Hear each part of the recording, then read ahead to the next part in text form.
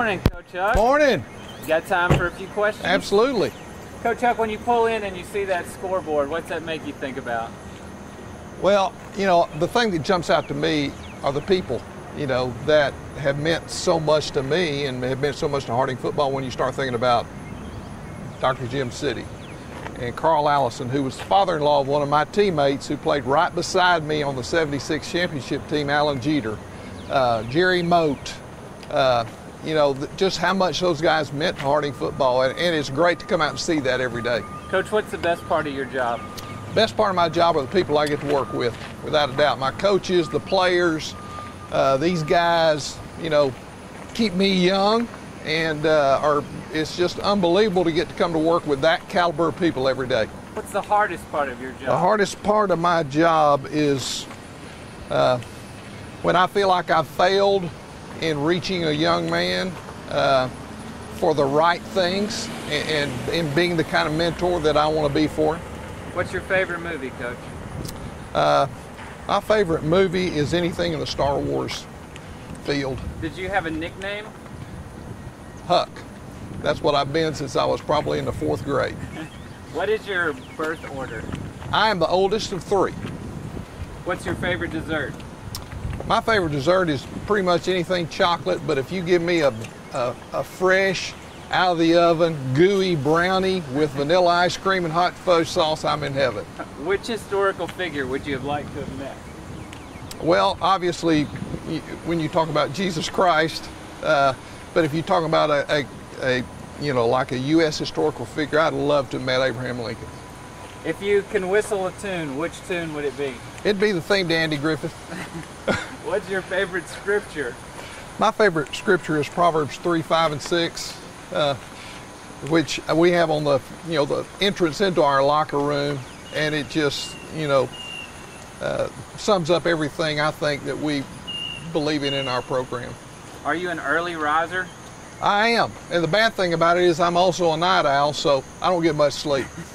Beatles or Rolling Stones? Beatles for sure. When when I was in elementary school, uh, I rode the bus to school every day, and we played the radio. And I'll never forget being uh, uh, in the bus and listening to "I Want to Hold Your Hand" the first time it came out. And I was a Beatles fan, and have been ever since. Last book you read? The last book I read was this morning.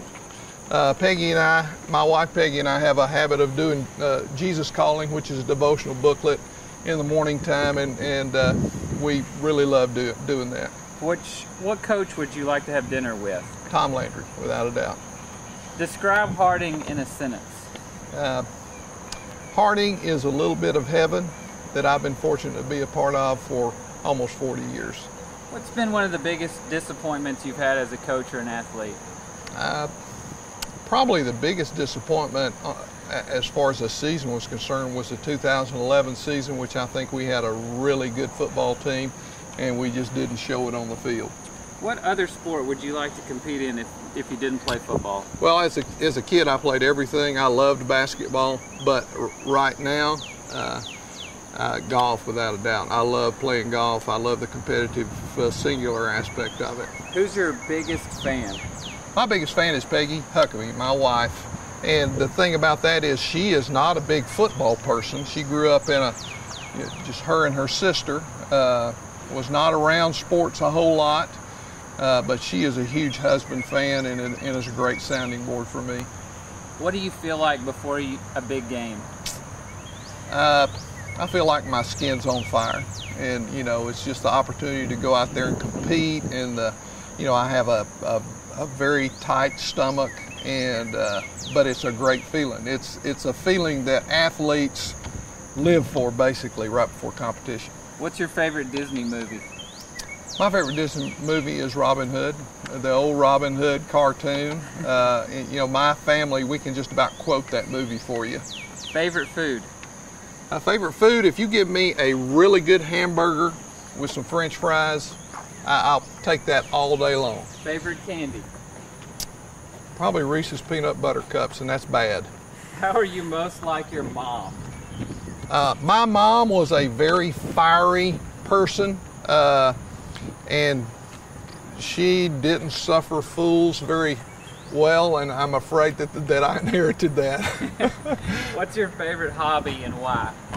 My favorite hobby is anything outdoors, you know, and and the way that translates for me pretty much is fishing and playing golf. I love being in nature. I love to hear the sounds. I I love to see the beautiful water. I love to catch a trout in the Little Red River. Uh, you know, it's just I just really connect with nature with those two hobbies. Coach, we appreciate you taking some time with us this morning and uh, have a great day. Thank you very much. All right.